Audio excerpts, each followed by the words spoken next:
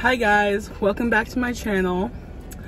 Um so recently i was you know on youtube like i do and i've been really into watching um john mulaney videos and like nick kroll videos but just their interviews. Um i don't know why but i was watching an interview i think with the both of them and i think john mulaney made a joke about cutco and so that joke for some reason just brought back all these memories about um, my experience with Cutco, which is only one, but one was enough. Uh, so in this video, I'm going to explain, be explaining um, how I almost fell for a pyramid scheme.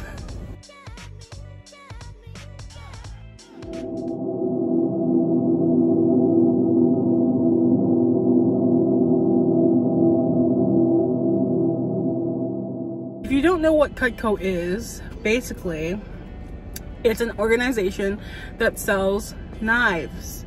So you have a, a, plethora of knives to cook with, and Cutco sells every single knife you could ever want in your life.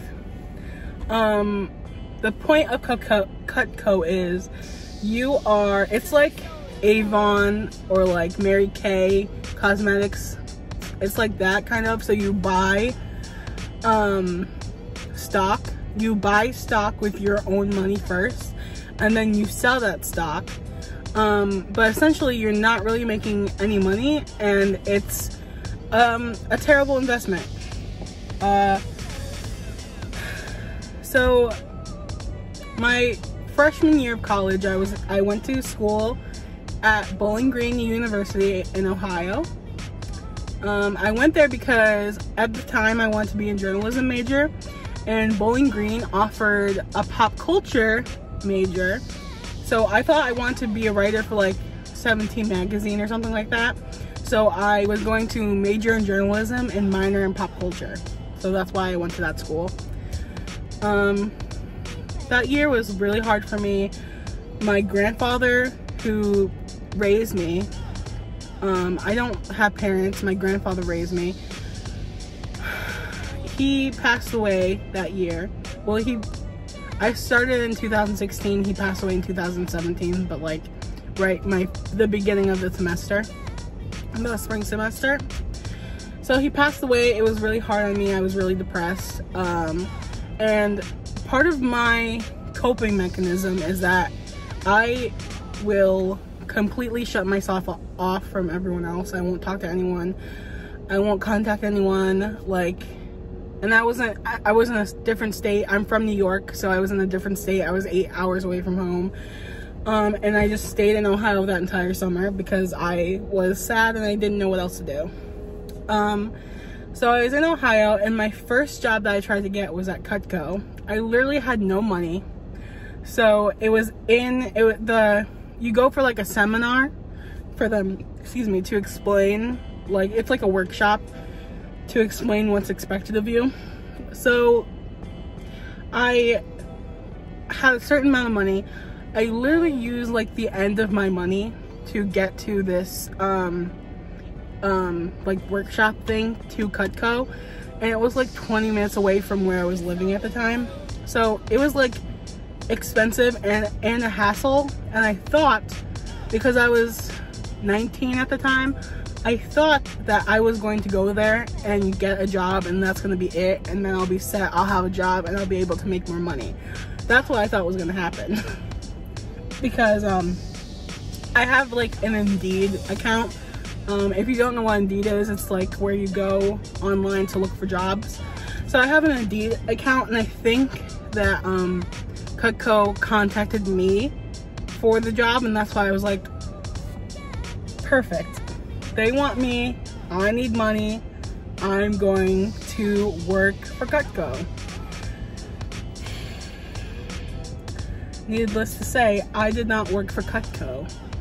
Um, oh my god, it's so stupid. It's just, this isn't, I don't think this is that entertaining of a story. It's just like, I was so stupid. I was such a stupid 19 year old and I just want other people to not be stupid. So if Cutco contacts you, if Mary Kay tries to get you, if Avon tries to get you, do not work for those companies. you can get another like a job somewhere else that is better and like won't make you waste all your money. So I didn't have a car. I was stuck in Ohio and I had to buy an Uber or something to get from where I was living to the workshop. So I spent all day, most of the day at the workshop. I don't think we were fed. And they were explaining to us like the pyramid, like you work up from the starting point onward, whatever. Um, but I thought that I was just, once I got there, that was it. I was gonna be, I'm, this is my job now. Well, no. Uh, I left there broke.